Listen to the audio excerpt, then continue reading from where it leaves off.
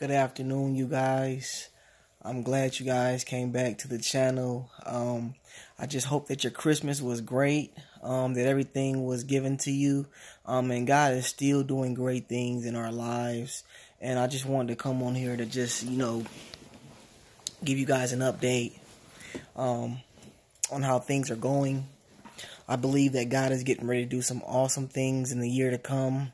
Um, 2019 is going to be prosperous year. It's going to be a prosperous year. Great things are getting ready to happen for you and your family. Just continue to believe in God. Continue to believe that God is getting ready to work it out. I won't be long. So with every eye closed and head bowed, let's pray.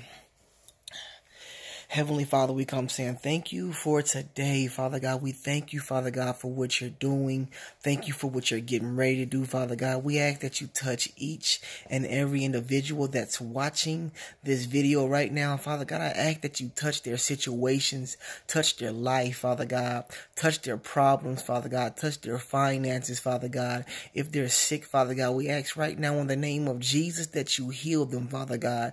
Father God, we ask that they put everything away, Father God, and put you first, Father God. Father God, I ask that they come asking, what must I do to be saved? Father God, I'm asking, Father God, before 2018 is over with, Father God, that someone becomes a part of the Christ family. Father God, I ask that they turn from their evil ways, Father God. Give it all to you, Father God. Father God, we ask that you move in these individuals' lives, Father God. Come see about your people, Father God.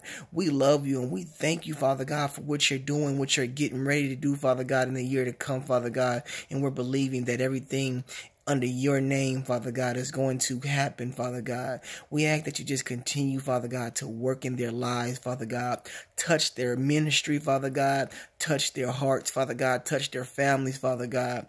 Just move in a in a way, Father God, that they can see you, Father God. We thank you and we give you the praise. In Jesus Christ's name we pray. Amen and thank God. I thank you guys for watching. Once again, this is not going to be a long video. Um, just continue to keep God first and just continue to pray. Thank you guys, and I'll see you guys next time.